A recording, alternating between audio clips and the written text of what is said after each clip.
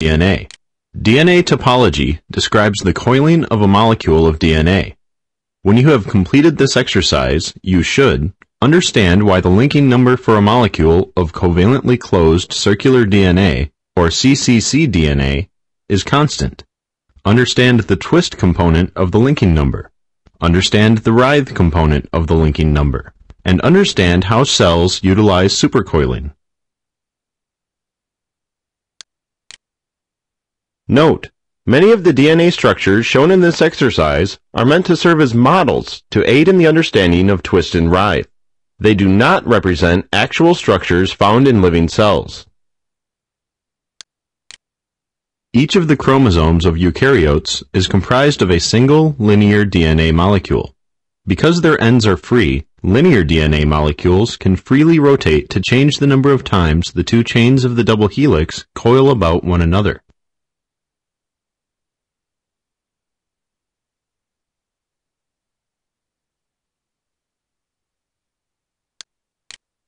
However, DNA molecules can also be circular. Examples of circular DNA molecules include most bacterial chromosomes, some viral chromosomes, and small bacterial genetic elements called plasmids. For such covalently closed circular DNA, the absolute number of times the chains coil about one another cannot change. These DNA molecules are said to be topologically constrained. Even the linear DNA molecules of eukaryotic chromosomes can be topologically constrained because of their interactions with other cellular components. Since each of the two strands of cccDNA are covalently linked circular chains, and because they coil around one another, the strands cannot be separated from each other without breaking a covalent bond and opening the circle of one of the strands. The two strands could be separated if they were able to magically pass through each other. The number of times one strand would have to be passed through the other strand in order for the two strands to be entirely separated from each other is called the linking number.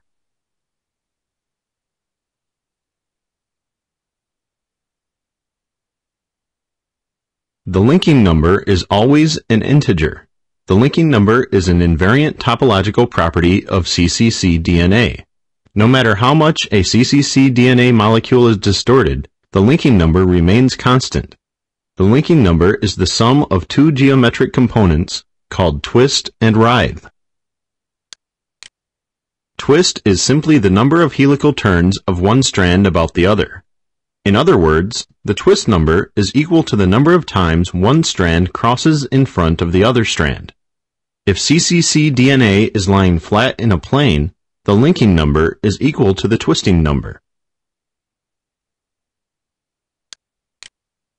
If the twists form a right-handed helix, as in DNA under normal conditions, they are given a positive twist number. To determine if a helix is right-handed, think of it as a screw. You would have to twist a right-handed screw to the right, clockwise, to screw it into a board. Also, in a right-handed helix, the strand in front at a cross point is pointed up to the right.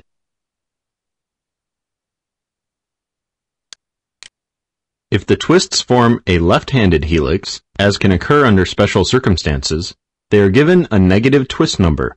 You would have to twist a left-handed screw to the left counterclockwise to screw it into a board. Also, in a left-handed helix, the strand in front at a cross point is pointed up to the left. However, cccDNA does not generally lie in a flat plane. Instead, the DNA double helix usually crosses over itself in three-dimensional space, often repeatedly. This torsional distortion is called writhe. Writhe can take two forms. One form is interwound or plectonemic writhe. In interwound writhe, the DNA is wound around itself, forming a helix, most CCC DNA molecules exhibit interwound writhe. The writhing number is the total number of writhes in a molecule of DNA. If right-handed DNA forms a right-handed interwound helix, the DNA must twist to accommodate the writhe. Therefore, right-handed interwound turns are assigned negative writhing numbers. Note that, although the linking number must be an integer, the twist and writhing numbers can have fractional values. If right-handed DNA writhes to form a left-handed interwound helix, the twist number of the DNA decreases. Therefore, left-handed interwound turns are assigned positive writhing numbers. The other form of writhe is spiral or toroidal writhe. In spiral writhe, the DNA winds as if around a cylinder. Spiral writhe often occurs when DNA molecules wrap around proteins. If right-handed DNA writhes to form a right-handed spiral coil, the twist number decreases. Therefore, right-handed spiral turns are assigned positive writhing numbers.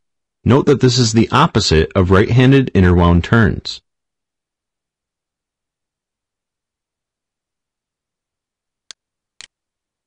If right-handed DNA writhes to form a left-handed spiral coil, the DNA must twist to accommodate the writhe.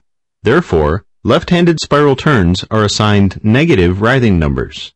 Again, this is the opposite of left-handed interwound turns. Under normal physiological conditions, the average structure of DNA has about 10.5 base pairs per turn of the helix.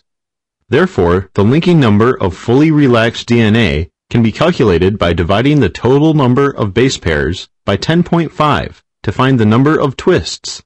This linking number is assigned the symbol LK0. If writhes are introduced to the DNA without changing the number of twists, the linking number changes. The difference between the actual linking number and LK0 is the linking difference. If the linking difference is significantly less than zero, the DNA is negatively supercoiled. If the linking difference is significantly greater than zero, the DNA is positively supercoiled.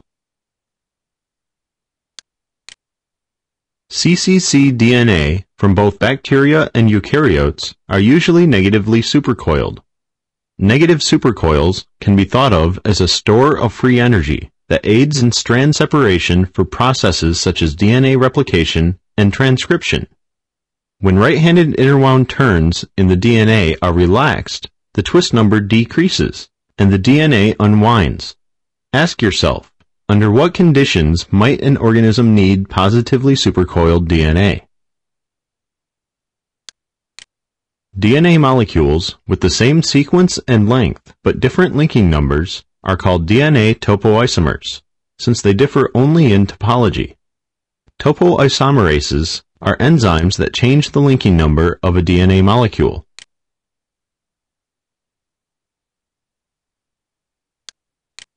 There are two types of topoisomerases. Type 1 topoisomerases increase linking numbers in steps of 1. By introducing an additional twist, type 1 topoisomerases relax negative supercoils. Type 2 topoisomerases change linking numbers in steps of 2.